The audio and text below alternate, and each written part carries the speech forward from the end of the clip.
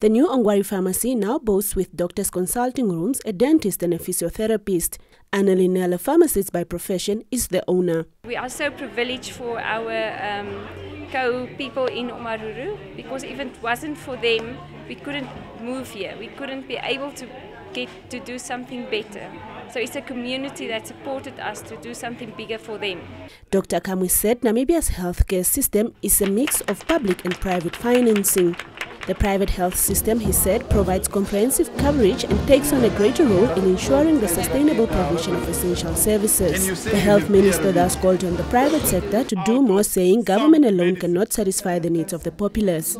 The ministry ran out of some medicines, including ARV for adults, which brought it under heavy media criticism recently, which the minister said was not completely the case, and with collaboration between private health facilities, it could be prevented.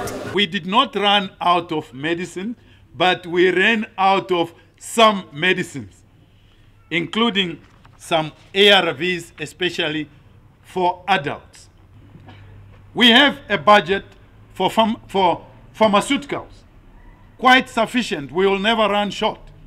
I don't want to hear that a person died from AIDS as a result of running short of ARV when we have Ongwari pharmacy well stocked with ARV. Kamwi commended Nell for the bold and innovative idea of adding value to the already existing health facilities in the Erongo region.